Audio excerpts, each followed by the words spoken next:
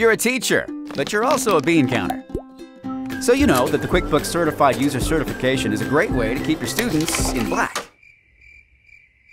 It's industry recognized for entry-level jobs, and it ensures your students have the chops to survive in a dog-eat-dog world.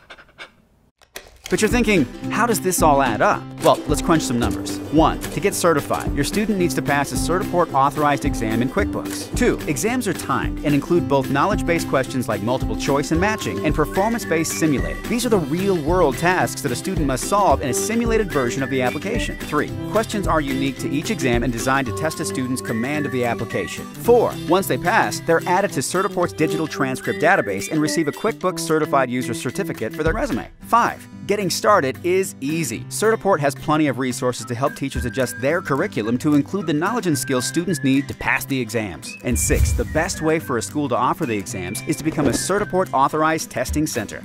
To start, verify that your facility meets the technical standards. Register. This just takes a few minutes. Purchase the exams and populate your account so that you can deliver them. Download and install the exam software on all computers to be used for testing. And then, administer the exams. Certiport offers a full pathway solution that includes training materials, practice tests, and exam vouchers. Talk to your Certiport representative for details. So, that's the bottom line. You're up and running with the QuickBooks Certified User Program, and your students will thank you for it. Now, you can get back to your first love teaching.